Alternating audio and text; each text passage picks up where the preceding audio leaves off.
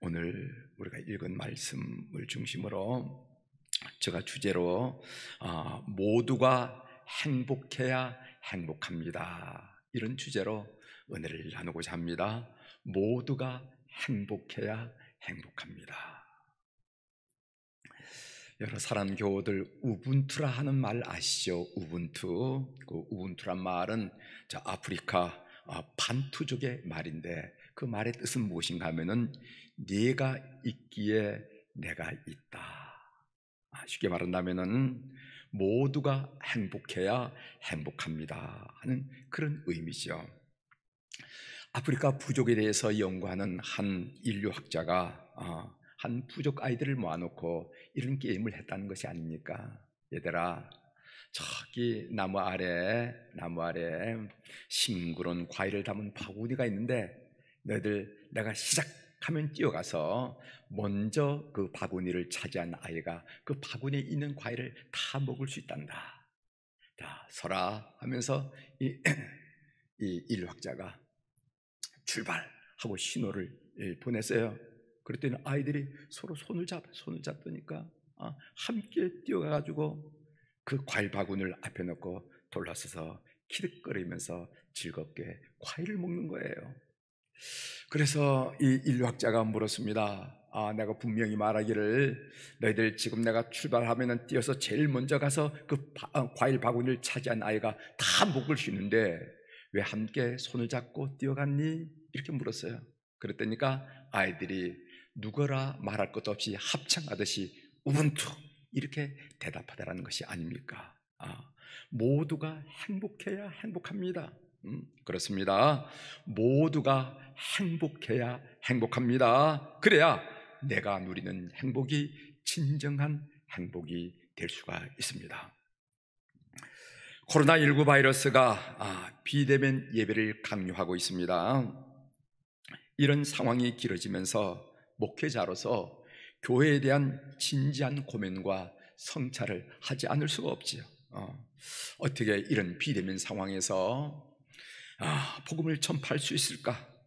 어떻게 이렇게 비대면 상황에서 교회의 본질을 교회의 본질을 구현할 수 있을까? 이것은 목회를 담당하는 목사로서 끊임없이 성찰하고 고민할 문제라 생각합니다. 오늘은 그 두 번째 시간으로 그 성찰한 내용을 여러분들과 함께 나누려고 합니다.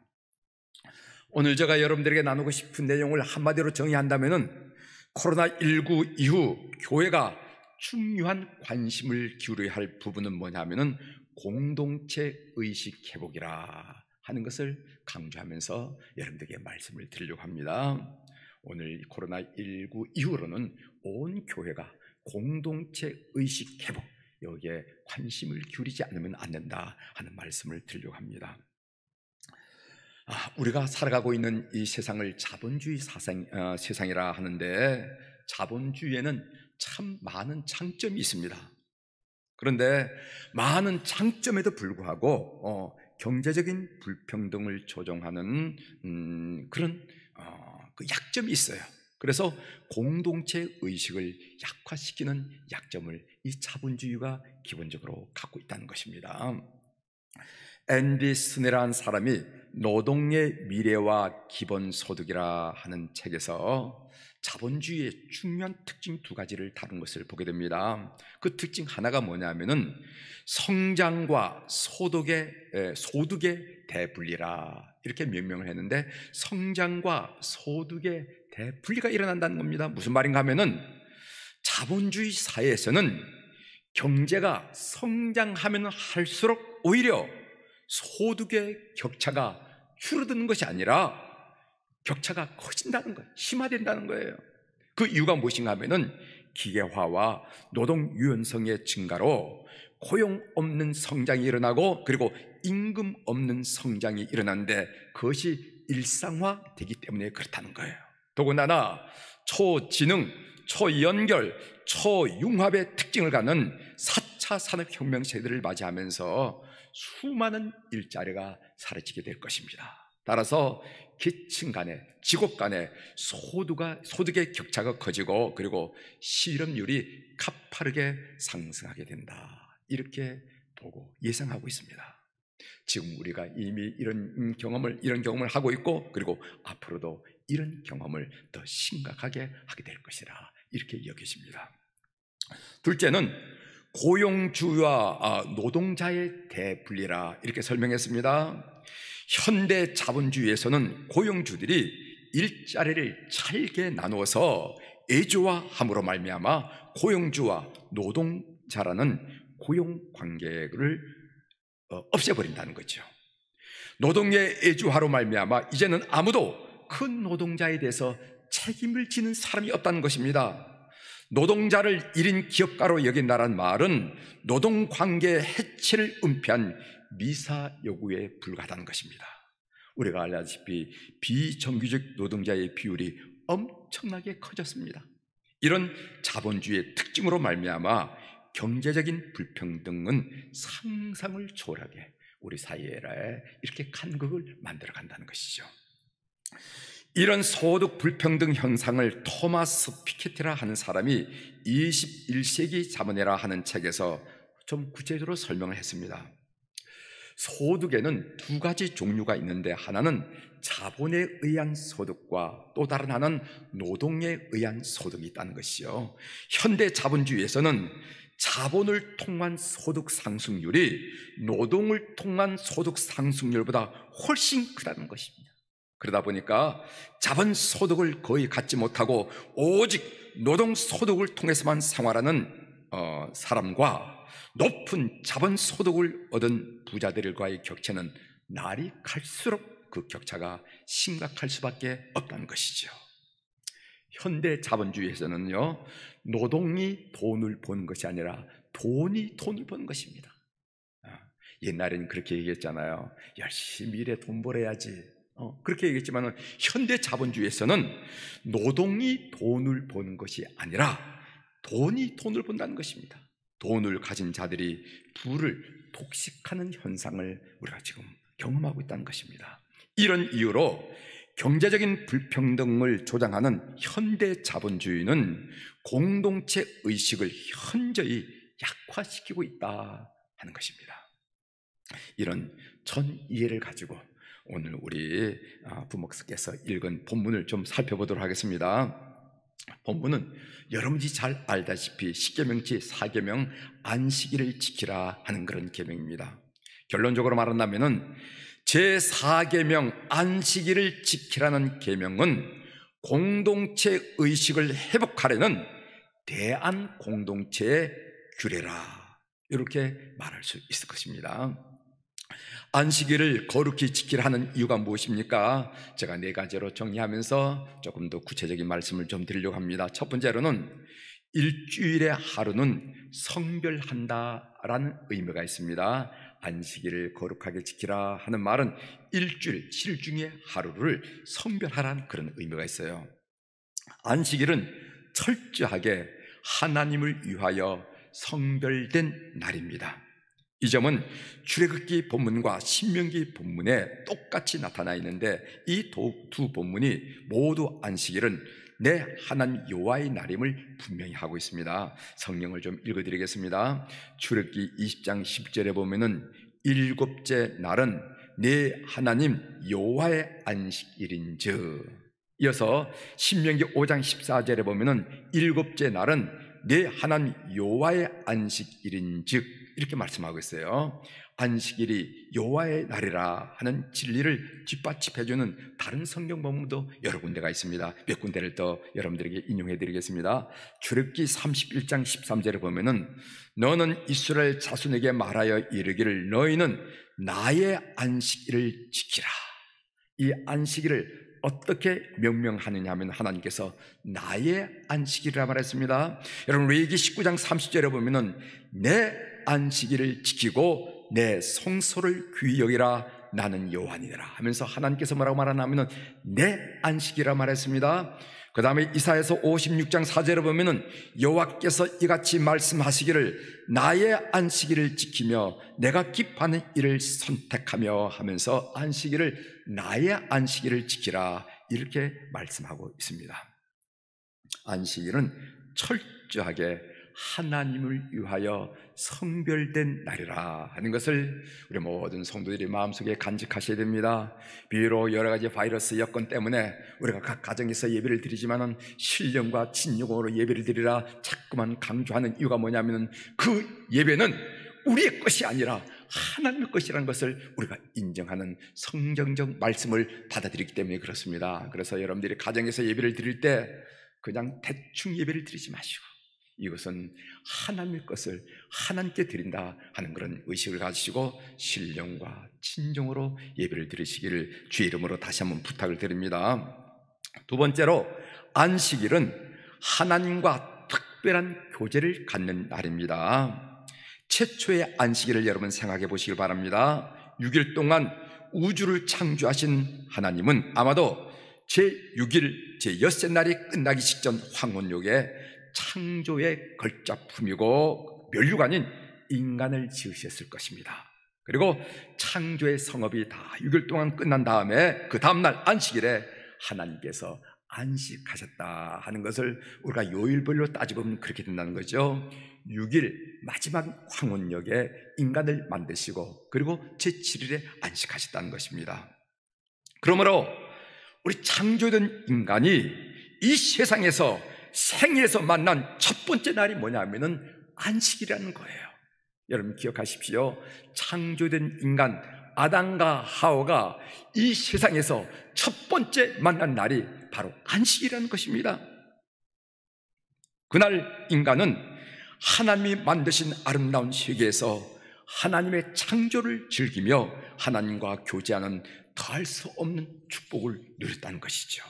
우리는 여기서 중요한 진리 하나를 배웁니다. 인간은 그 무엇보다도 일보다도 안식이 필요한 존재라 하는 것을 우리가 살펴볼 수가 있어요. 인간 창조된 인간이 제일 처음 만난 일은 그것은 농장도 아니고 어, 공장도 아니고 일이 아니라 바로 안식이었다 하는 이 성경의 가르침을 우리가 간과해서는 안 됩니다. 그런데 그 안식은 하나님의 임재 안에서만 경험할 수 있습니다. 인간이 하나님의 임재 안에서 참 안식을 경험하는 것을 우리가 뭐라고 말하냐면 예배라고 말하는 것이에요. 인간이 하나님의 임재 안에서 참 안식을 경험하는 것을 보고 예배라고 한다. 그러므로 인간의 안식은 하나님의 임재를 경험하는 예배를 통해서만 얻을 수 있는 것입니다. 예배가 없는 쉼이란 것은 그것은 그냥 일의 중단일 뿐이지 참 안식이 주어지잖아요. 예배가 없는 쉼이라는 것은 일의 중단이기 때문에 내 영혼에 안식을 주는 것도 아니고 내 심령에 안식을 주는 것도 아니고 내 육체에 안식을 주는 것도 아니고 내 삶에 안식을 주는 것도 아니라는 것을 우리가 잘 깨달아야 된다는 것이죠. 그래서 성어신 이렇게 고백했습니다.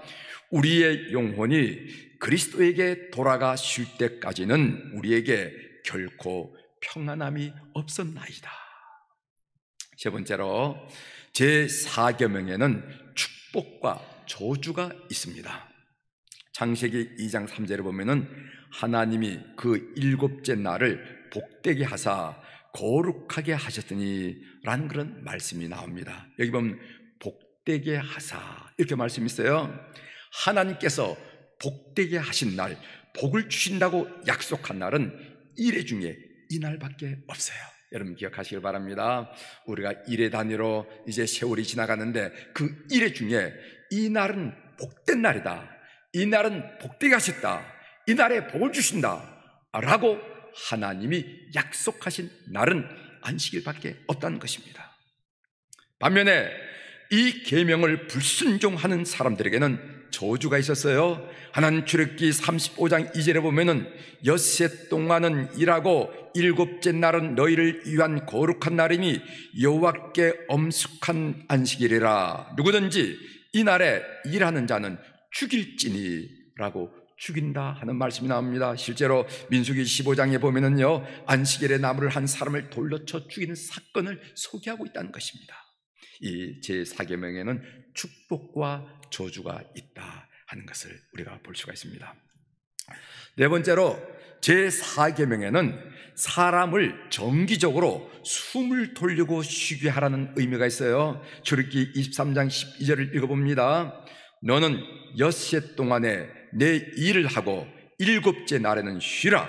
내 소와 나귀가 쉴 것이며 내 여종과 여종의 자식과 나그네가 숨을 돌리리라. 하면서 그 말씀에 보면 숨을 돌린다 하는 그런 말씀이 있습니다. 그렇습니다. 안식일은 일만 하다가 몸과 마음이 병든 사태를 방지하기 위해서 숨을 돌리는 그런 날이 안식이라는 것이죠. 잠시 숨을 돌려서 마음과 몸의 기운을 회복하라 하는 의미의 날이 안식일이라 하는 그런 것입니다. 여러분 생각해 보시길 바랍니다. 예나 지금이나 어, 주인은 안식일이 있든 없든 제 알아서 언제든지 쉴 수가 있습니다. 피곤하면 주인이 쉬는데 누가 뭐라고 그러겠어요? 그러나 종들은 그렇지 않습니다. 그들의 신분으로 볼 때 쉬는 날을 제정해 놓지 않으면 평생 쉼 없이 일만 하다가 골병이 들어 죽고 말 것입니다. 그런 점에서 안식일법은 집안의 종, 나그네, 심지어 짐승까지 쉼을 명령한 너무나도 인간적인 법이다 하는 것을 알 수가 있습니다. 이처럼 정기적으로 쉬면서 숨을 돌리는 것이 필요한데 얼마 만에 한 번씩 숨을 돌려야 하는가? 여기서 하나님이 6일 동안 일하고 일곱째 날에 쉬신 것을 모델로 삼았다는 것을 알게 됩니다. 그 말씀이 출애기 31장 16절부터 17절에 나와 있는데 제가 읽어 드리겠습니다. 이같이 이스라엘 자손이 안식일을 지켜서 그것으로 대대로 영원한 언약을 삼을 것이니 이는 나와 이스라엘 자손 사이에 영원한 표징이며 나 여호와가 여세 동안에 천지를 창조하고 일곱째 날에 일을 마치고 쉬었음이니라 하라 이렇게 써요. 내가 여세 동안 일하고 일곱째 날 쉰 것처럼 너희들도 여세 일하고 하루를 쉬어라. 하면서 6일 동안 일하고 일곱째 나는 쉬는 것을 하늘의 법칙으로 성경이 말하고 있습니다.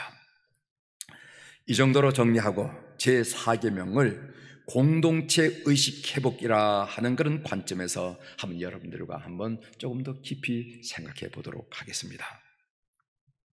신명기는 안식일을 지켜야 하는 이유를 출애굽기와 다르게 설명하고 있어요. 여러분 안식일을 지키라 하는 말씀을 출애굽기에도 볼 수가 있고 어, 그리고 신명기에도 볼 수가 있는데 그 관점이 좀 다릅니다. 출애굽기에서는요 창조와 관련지어서 그 말씀을 하고 계세요. 그러나 신명기는 이집트 생활과 관련지어서 안식일을 명령하고 있음을 보게 됩니다. 신명기는 이집트에서 종으로 생활했던 것을 기억하라고 신명기 5장 15절에서 재차 강조합니다. 전 쉬운 말로 제가 이렇게 설명하겠습니다.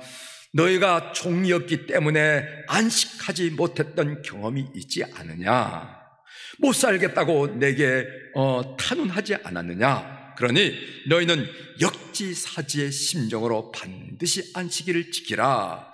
주인만 쉬는 것이 아니라 자녀들도 쉬고 종들과 나그네들도 쉬고 가축들도 쉬게 하라 하면서 신명기의 말씀을 보면은 너희들이 애굽에서 얼마나 얼마나 힘들었느냐 그러면서 하나님께 탄원하고 하소연하지 않았냐 그 생각 기억하고 역지사지 심정으로 너희들이 삶을 살면서 안식을 지켜라 하는 것이 신명기의 말씀입니다. 월터 프루그만이라 하는 사람이 그의 책 안식일은 저항이다 하는 그런 어, 책을 썼는데 그 책에 보면 이런 내용이 있습니다. 그 내용의 한 구절을 여러분들에게 인용해 드리도록 하겠습니다. 율법은 이스라엘 백성이 탈출한 이집트에 대한 대한 공동체를 어떻게 이룰 것인가에 대한 답으로 주어졌다. 아, 이스라엘 백성들이 출애굽을 하면은 무슨 공동체를 이뤄 나가야 될 거 아니겠습니까? 그럼 그 어떻게 만드냐 이 말이지 그 공동체를 그 공동체는 어떤 기조하에 만들어야 되는가 라는 답으로 율법이 주어졌는 겁니다. 그 율법을 열 가지로 정리한 것이 십계명이고 그 중 대한 공동체 핵심은 안식일을 지키라는 제4계명이다. 이렇게 설명했어요. 굉장히 중요한 얘기라고 생각해서 제가 다시 한번 그 부분을 읽어드리겠습니다. 율법은 이스라엘 백성이 탈출한 이집트에 대한 대한 공동체를 어떻게 이룰 것인가에 대한 답으로 주어졌다. 율법을 열 가지로 정리한 것이 십계명이고 그중 대한 공동체의 핵심은 안식일을 기억하라는 제 4계명이다. 이렇게 했어요. 여러분, 다른 신과 여호와 하나님의 차이가 무엇입니까? 특징이 어떤 차이가 있어요? 다른 신과 여호와 어.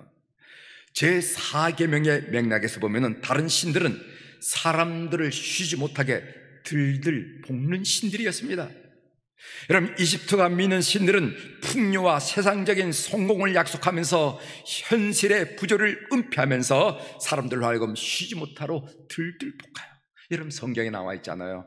이집트의 바로왕은 뭐라고 말합니까? 이스라엘 백성들을 쉬지 못하게 하고 어, 더 과중한 짐을 지우고 서로 경쟁하도록 부추기고 끊임없이 욕망을 부채질하게 하는 신이 바로 이집트의 신이었고 그 신을 대리한 바로 왕이 그렇게 했다는 것입니다. 여러분 우리 성경이 보잖아요. 음.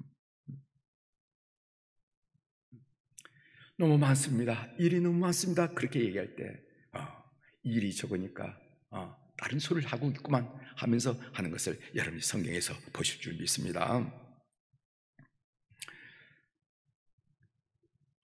하지만 여호와 하나님은 그 자신이 안식하는 쉬는 신이고 그리고 백성들을 쉬게 하는 하나님을 우리가 알 수가 있어요. 십계명의 마지막 계명인 열 번째 계명도 안식일을 지키라는 제 4의 계명의 맥락에서 이해할 수가 있습니다. 이집트의 체제는 사람들에게 쉬지 말고 일하라는 노동을 강요합니다. 이것을 충동질하는 힘이 무엇인가? 제 10계명 열 번째 계명은 확인하는 그것은 뭐냐면은 탐욕이라는 것입니다. 탐욕 때문에 이런 일들이 이어진다고 분석하는 거예요. 탐욕이 소유에 대한 욕망을 부질러서 경쟁심을 서로 사이에 유발하고 남의 것을 빼앗고 이웃을 토태시킵니다. 이런 탐욕의 체제는요, 이웃의 소유를 사정없이 빼앗게 되는 것입니다. 이런 탐욕의 체제는 과부와 과와 나그네를 억압하는 체제이고 소유를 빼앗긴 가나한 어, 자르들을 양산하는 시스템이라는 것입니다. 그래서 십계명 마지막 계명이 뭐냐면 탐내지 말라 이렇게 얘기하는 거예요. 탐욕.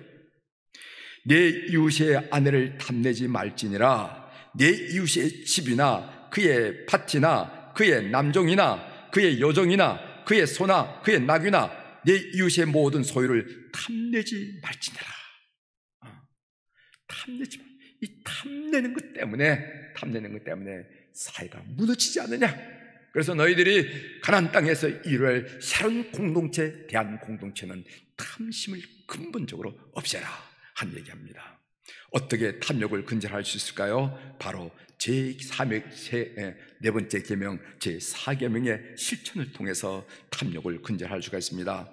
안식일을 지키라 하는 것은요. 지나친 노동의 강도를 완화시켜 주고 그리고 노동 차취를 근절하는 사회적인 제도였기 때문에 탐욕을 원천적으로 봉시한다는 거예요. 따라서 제4계명은 모두가 행복해야 행복합니다라는 공동체 의식을 회복하는 대한 공동체 규례라 하는 것을 우리가 알 수가 있습니다. 코로나19 이후 한국 교회는 구체적으로 무엇을 생각해야 할까요?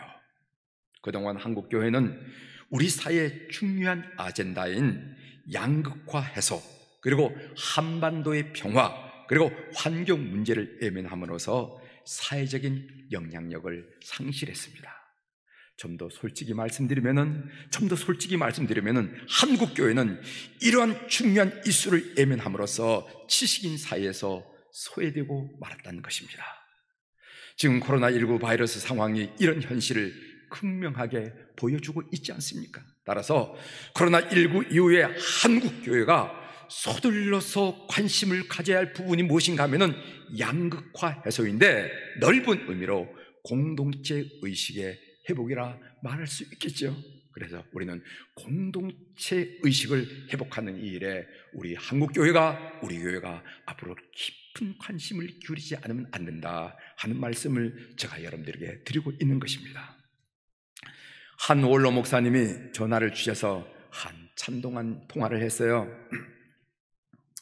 그 목사님이 말씀하시기를 무슨 말씀을 하시냐 하면은 요즘 가장 힘든 것은 애로움이라 고독 애로움이라 이렇게 말씀하셨어요. 전화 오는 데도 없고 전화할 데도 없고 찾아오는 사람도 없고 찾아갈 사람도 없답니다. 못 먹고 못 입어서 힘든 것이 아니라 애로움이 가장 힘들다 이렇게 얘기했어요. 며칠 전에 딸이 토요일에 들르겠다고 전화가 왔답니다.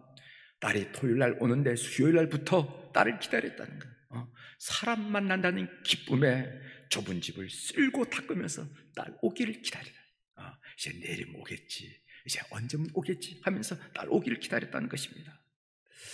이 원로 목사님의 통화를 받고 어, 전화를 받고 제가 참 생각했어요. 그렇겠구나. 내년부터 우리 수표교회 공동체가 아, 이 수표교회 공동체를 위해서 이 애로운 노인들을 정기적으로, 규칙적으로, 지속적으로 방문하는 프로그램을 해야 되겠다. 어떤 우리 성도님들은 이 코로나 바이러스로 앞으로 한 번도 교회 못 가고 내가 이 세상을 하직해야 될까 두렵다고 얘기하는 것을 들은 적이 있어요. 여러 사상, 사정상 방문을 원하지 않은 교우들도 있을 것입니다. 그 여건은 여건대로 참조를 하면서 아, 내년부터 우리 교회가 이 교회 공동체 의식을 회복하기 위하여 어? 아, 10년을 다녀도 저 사람이 관심 갖지 않고 20년을 다녀도 저 사람이 관심 갖지 않은 그런 것이 아니라 이 공동체 의식을 강화하기 위해서 이런 일들을 우리가 목회 프로그램으로 해야 되겠다 하는 그런 생각을 하고 있습니다. 여러분들이 잘 알다시피 보수 정당인 통합당의 정강 정책에 기본 소득이라 하는 말이 제 1항으로 나왔다는 것을 여러분 보셨죠. 한국도 재난 기본 소득이라는 명목으로 현금을 지급했습니다. 저도 받았습니다. 여러분들도 받으셨죠. 네. 자본주의는 기본적으로 수요와 공급의 균형으로 이루어져 가는데 그것이 원활하게 이루어지도록 정부가 조정자의 역할을 합니다. 공급이 부족하면 공급을 지원하고 수요가 부족하면 수요를 지원합니다. 코로나19 바이러스 사태로 심각한 수요 부족을 가져왔습니다. 공급 역량은 충분한데 네, 오히려 수요가 부족하다는 것이죠. 이 불균형 때문에 구조적인 경기 침체에 빠질 수밖에 없었다는 것입니다. 재난 기본 소득이라는 것은 국민들이 불쌍하게 보여서 불행해서 돕는 것이 아니라 수요와 공급을 맞춰서 경기를 이끌려가는 그런 선순환을 만들려고 하는 경제 정착이라 하는 것을 우리가 압니다. 왜 교회가 기본 소득이란 이런 단어에 대해서 관심을 가져야 됩니까? 그것은 기본 소득이 점점 더 심각해지고 심화되어 가는 경제적 불평등에 대해서 하나의 대안이 될 수 있다라는 그런 생각 때문에 그렇습니다. 우리 사회도 공동체 의식의 회복이 절실합니다. 모두가 행복해야만 행복합니다. 사회 구성원 모두가 행복하기 위해서 우리 교우들 관심을 가지시고 기도하는 교우들이 되기를 주의 이름으로 축원합니다. 기도하시겠습니다.